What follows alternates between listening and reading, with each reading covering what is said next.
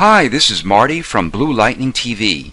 Over a year ago, I did a tutorial showing how to make this pop art portrait of Lady Gaga based on the iconic silk screens of celebrities and other famous people by Andy Warhol.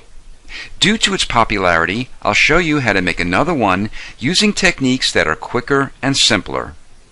Choose a photo of someone you'd like to make into a portrait. If it's in color, desaturate it by pressing Ctrl Shift U on a PC or Command Shift U on a Mac. Make sure it's cropped so it just shows the subject's head and the top of the shoulders. We need to make sure that its size and resolution will be the most effective for the filters we'll be using. So go to Image and Image Size. Click on the chain link to lock its aspect ratio. This will keep its proportions intact. Type in 500 pixels for the width and 72 pixels per inch. Then click OK. To fit it back onto your screen, press Ctrl or Command 0. To make its darkest areas black and the lightest areas white, invoke Auto Tone by pressing Ctrl or Command Shift L. We need to make a selection around the subject to separate it from its background. There are many ways to do this, and I covered them in many of my tutorials. For this example, I'll use the pencil tool. Make the size 10 pixels and the hardness 100%. If your foreground and background colors aren't black and white respectively, press D on your keyboard. Click the Quick Mask button so we can draw a quick mask. Draw loosely around the head and shoulders and make sure there are no openings in your quick mask.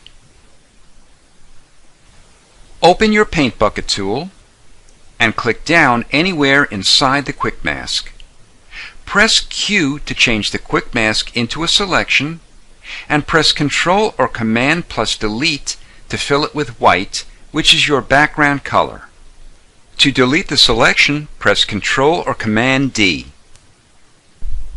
Make a copy of your image by pressing Ctrl or Command plus J. Go to Filter and Filter Gallery. Open the Sketch folder and click Halftone Pattern. Make the size 1, the contrast 40, and the pattern type dot. Depending on the characteristics of your photo, you may want to adjust the contrast amount. There should be a good balance of shadow and highlight with just enough midtones as halftone dots. Click OK to accept it. Go to Filter, Sharpen, and Smart Sharpen.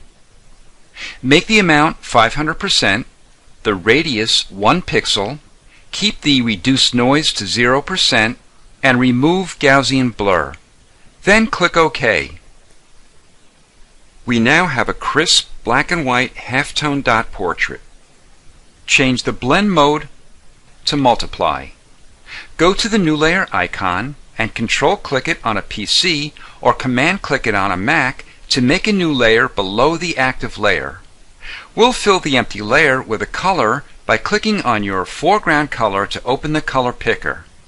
Pick a color you like for your background. I'll pick a dark turquoise. Then press Enter or Return. Press Alt or Option plus Delete to fill it with the color. We'll do the skin next. Click on the foreground color box. For this example, I'll type in F7C EB7. Open your pencil tool by pressing B on your keyboard. To increase its size, press the right bracket key. Now, Paint in areas of the skin on your subject. Don't be concerned right now with the colors of other areas of the face and neck, like the eyes, lips, clothing, or jewelry. We'll paint them in over the skin. If you want to paint back in a color, press I on your keyboard to open the eyedropper tool.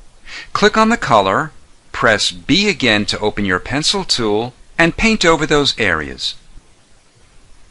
To paint in white for the eyes and jewelry, I'll invert the foreground and background colors by pressing X on my keyboard.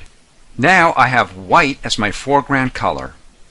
To decrease the size of your pencil, press the left bracket key.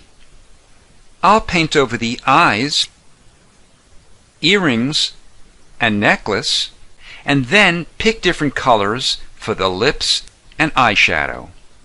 Have fun transforming photos of someone you know into pop art portraits.